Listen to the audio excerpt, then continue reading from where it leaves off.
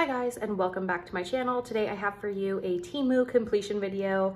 I was supposed to do a Temu unboxing video, but then I got too excited and I did the, did like, well, not all of the, not all of the like kits or canvases that I had gotten, but I did do two of them already. So I'm like, well, I'm just gonna do a Temu completion video. Um, but I will have the link for both of these items down below if they are still available.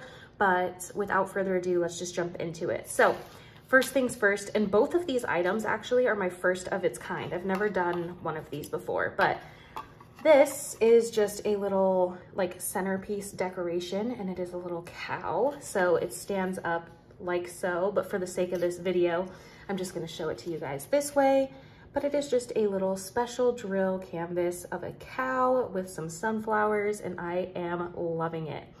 It was super quick and easy to work up plenty sticky, plenty of drills, just absolutely adorable, high quality, definitely would recommend. Um, I will have the link to this down below if you're interested.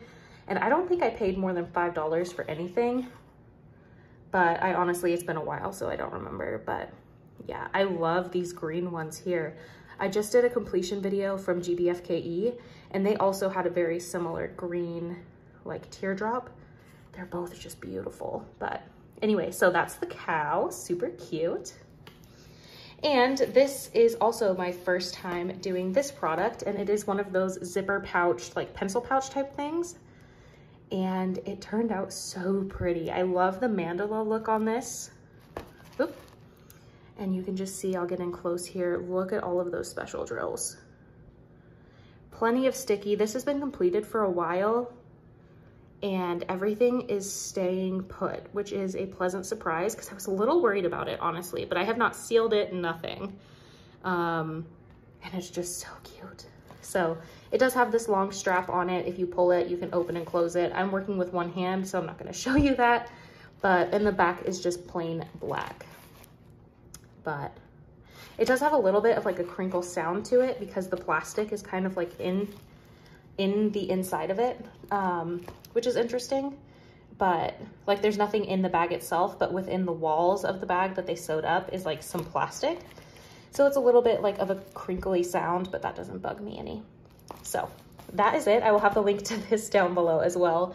Um, just some super short, quick, sweet, to the point little completions for you. We have this mandala pencil pouch and a little cow um, centerpiece display, but I just wanted to make sure that I got on here and shared these with you guys before I tucked them away and started other projects. But thank you guys so much for watching. I hope you're having a great day and night whenever you're watching this. If you're interested in wax or diamond painting um, content, this is the channel for you. And um, please feel free to like, comment, and subscribe. I'd be more than happy to have you.